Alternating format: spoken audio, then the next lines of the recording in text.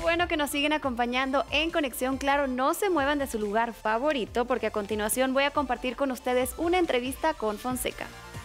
El colombiano prácticamente no necesita presentación ya que todos sabemos que es una de las máximas estrellas del vallenato y el pop latino. El sitio que ahora tiene en la cima de la música en español se lo ha ganado con grandes producciones, todas ellas de indiscutible calidad. Y precisamente platicamos con Fonseca sobre su más reciente lanzamiento. Vamos a ver qué fue lo que nos contó.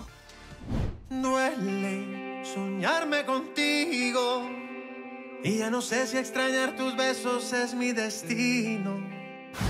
¿Qué tal amigos de Claro? Me encuentro con un cantante que admiro muchísimo, Fonseca, ¿cómo estás? Hola Gaby, ¿cómo estás? Muy bien. Pues bueno, cuéntame, vienes de ganar ahorita el Latin Grammy al mejor álbum pop vocal tradicional y pues con este álbum que se llama Agustín, que lleva el nombre de tu hijo, de tu tercer hijo, ¿cómo te sientes con esto? ¿Qué significa para ti este premio? Pues mucho, significa por muchas razones, obviamente por lo que decías que tiene el nombre de mi hijo, pero, pero sobre todo porque fue un álbum al que como a todos los álbumes, pero a este álbum le metí muchas horas de trabajo, mucho corazón, mucho sentimiento. Fue un álbum que trabajé con 13 productores distintos, entonces fue literal como un rompecabezas que me tocó ir armando porque era trayendo sesiones de un lado al otro para mezclar, para grabar, para... Fue un álbum de estar mucho tiempo fuera de la casa. Ha traído cosas muy bonitas para mi carrera y, y por eso y por muchas razones más es, es un álbum muy importante para, para mi carrera. Mírame que cuando miras nada me hace falta y cuando estoy tan lejos yo quiero tus besos pero llevo adentro este hueco en el pecho es mi melancolía que en tus ojos veo no me eches de menos que si tú me extrañas. Ben, que también estuvo nominada como mejor canción pop Sí. Este, cuéntame un poquito de la historia de esta canción, cómo fue que la hiciste, la idea, todo.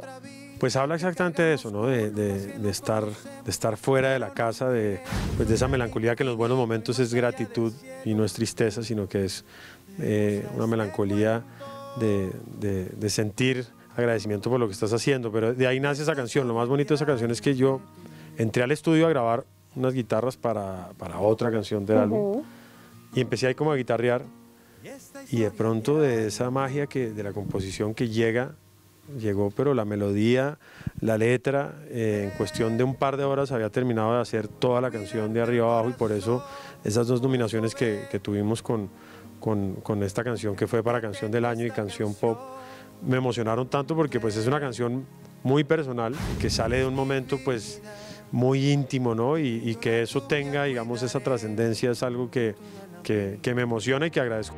Ay niña ve, voy a cuidarte el corazón, por eso ve, que aquí te tengo esta canción.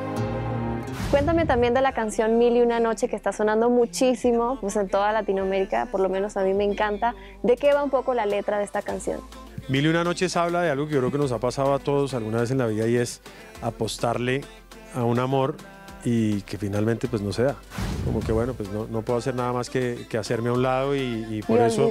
Sí, y es, y es una canción como un poco como de, de derrota, pero en buena onda. Es como que, como que mil y una noches me he soñado contigo y mil y una noches para poderte encontrar, y, pero me falta una noche para poderte olvidar, ¿no? Es una cosa como que igual vas a quedar siempre ahí en mi corazón y, y vas a tener ese espacio y de eso trata mil y una noches.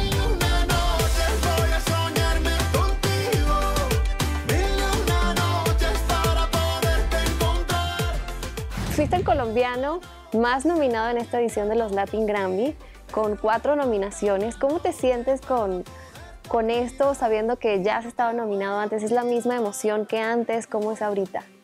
No, yo creo que cada vez es más la emoción. ¿Sí? Claro, porque, porque pues sentir que sigue tu música siendo respaldada y que sigue siendo eh, con ese apoyo, digamos, de la industria, que es eh, los colegas y la gente con la que constantemente pues estás compartiendo, ¿no? Y, sentir ese espaldarazo pues es, es muy especial porque, porque, como te decía ahora, es mucho el trabajo que se le mete a, una, a, un, a un álbum y a, y a cada canción, entonces volver y sentir que te dicen, hey, nos gusta lo que estás haciendo.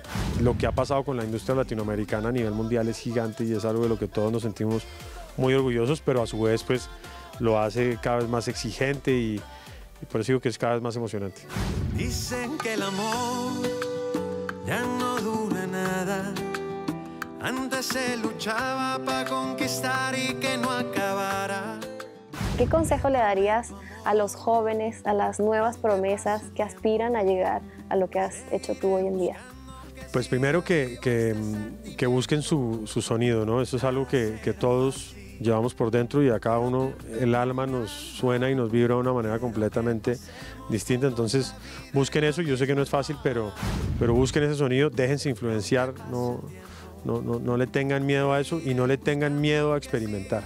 Yo creo que lo más importante en la música es eso, es jugar con la música, divertirse con la música y de ahí, de esa experimentación y de esa diversión, seguramente vas a poder encontrar tu sonido que al final del día es lo más importante.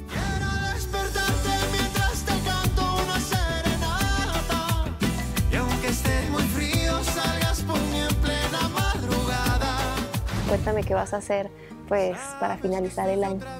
Para finalizar el año, yo no, celebrarlo?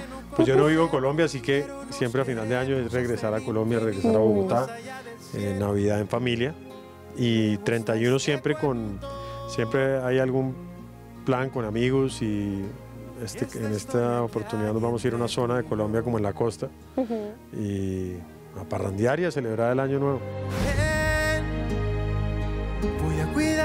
Corazón, por eso ve